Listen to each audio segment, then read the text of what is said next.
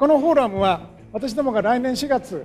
の新しい学部として生命健康科学部とでその中に生命科学科とあの保健看護学科という2つの学科を持つ新しい学部を創設したいとその計画中でありましてでそのことを含めてどういう目的でそういうことをしようとしているのかということをご理解いただきご協力いただければという目的でこのフォーラムをやらかせていただくということにいたしました。医療の面から申しますとこの21世紀に特に私どもが注目あるいはその関心を持って当たっていかなければいけないであろうと思われるものを挙げてみますと生活習慣病それからもう一つは感染症というのはもうすでに私ども乗り越えたと思っておりましたところなかなかそうはいかないということで新しいタイプの感染症がいくつか増えてまいっております。食品添加物は数種類以上ございますが、胃がんの原因、危険因子として一番重要なのは塩辛い食べ物なんです。食品自身は発がん物質ではありませんけれども、塩辛い食べ物の浸透圧が非常に高いものですから、それが胃の粘膜の表面を覆っている粘液の保護膜を溶かしてしまいます。で、そのために胃袋の中でできた発がん物質、口から取り込んだ発がん物質などが簡単に胃の粘膜に取り組まれやすくなってがんになる可能性もございます。高齢者特に超高齢者というのはいろんな病気合併症が多くなる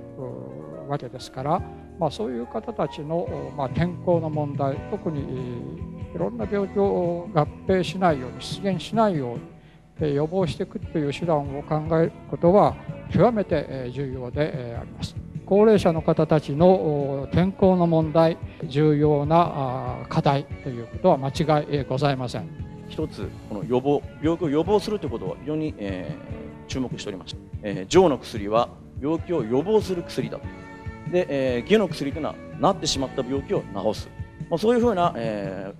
ー、分け方がされている時期もありました。まあ、そんな観点で見ますと今の現時点での我々が置かれている医療の現場といいますと、まあ、現になってしまうのかもしれませんが、まあ、それは決して悪いというわけではなくあの非常に貢献をしていることは疑いのないことでございます。ではなぜ東洋医学あるいは漢方医学、え、人によってはこれで、え、スポーツもできると。例えばあのゴルフでご存知のジャック・ニクラウスですね。あの方はあのゴルフの天才と言われておりますけれども股関節を痛められて、えー、現在はこういう人工股関節をはめながらスポーツもされるというふうな状態でありまして非常に、えー、クオリティオブライフといいますか生活を快適な生活を味わうという意味では重要な役割をしている一例であります。緊急の出動要請。ドクターヘリのスタッフは休まず働いていた。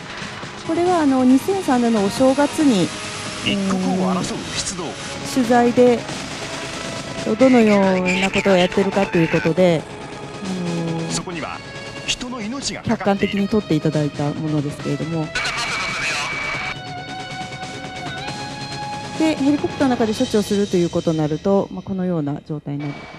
その人の持てる力を引き出すというのが大きな看護の目標になります。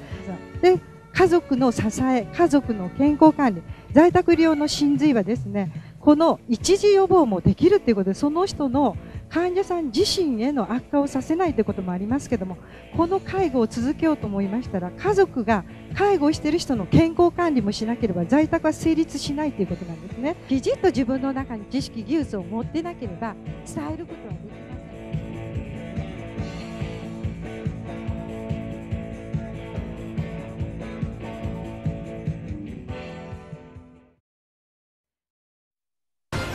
グローバルな人材を養成する中部大学。